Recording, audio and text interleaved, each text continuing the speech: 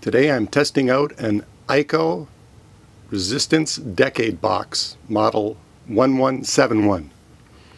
My meter is a couple decades old and even when it's shorted out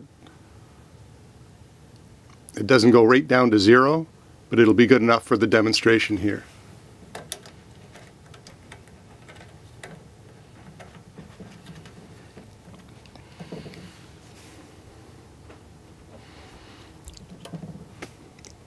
Decade box is set at zero all the way along.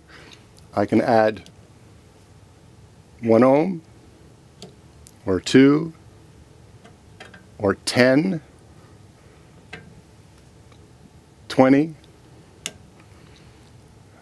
add to the hundreds, add to the thousands, add to the ten thousands. So, so if I were to set these all at 5,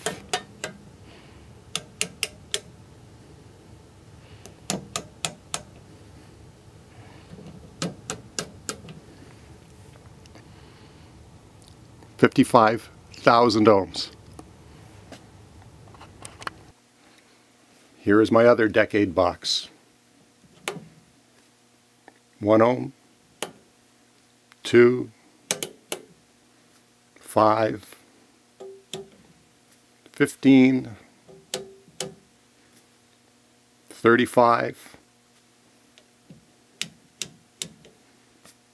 335,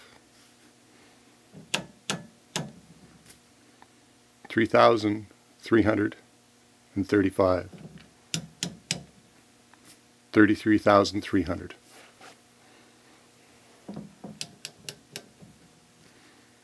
73,